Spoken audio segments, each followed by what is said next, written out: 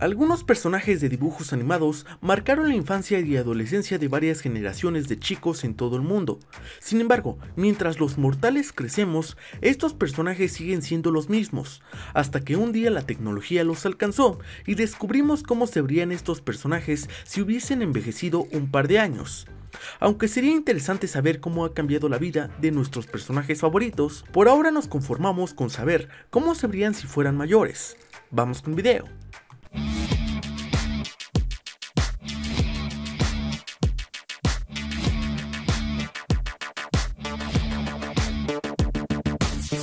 Número 1. Bombón, Burbuja y Bellota son las chicas superpoderosas. Son tres pequeñas niñas con una misión, salvar al mundo.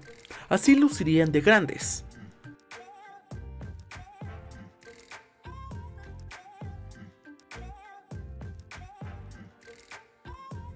Número 2. Boo es un personaje de la película Monster Inc. y es una pequeña niña que es muy dulce, nerviosa, amable e inteligente, y así luciría.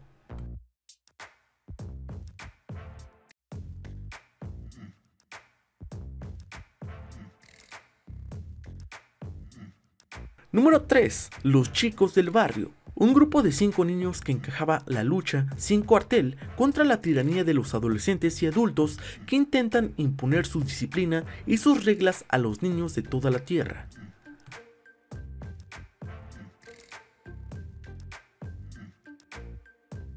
Número 4. Como todo bebé, Maggie se limita a comer, dormir, eructar y succionar su chupete, y así luciría de más grande,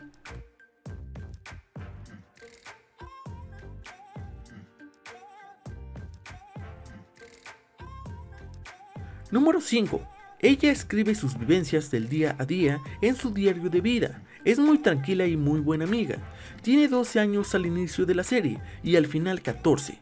Kinger es una buena escritora.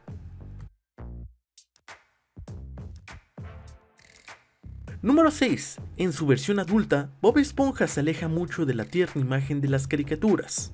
Este es uno de los personajes más icónicos de las series animadas infantiles.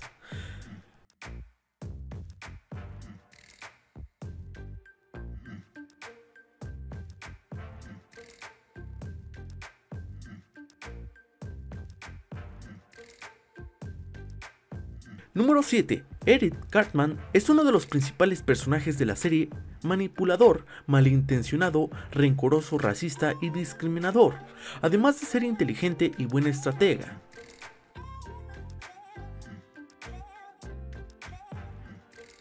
Número 8. Dora la Exploradora es una niña que le encanta salir de aventuras con sus mejores amigos, botas, mochila y su mapa. Así es su versión adulta,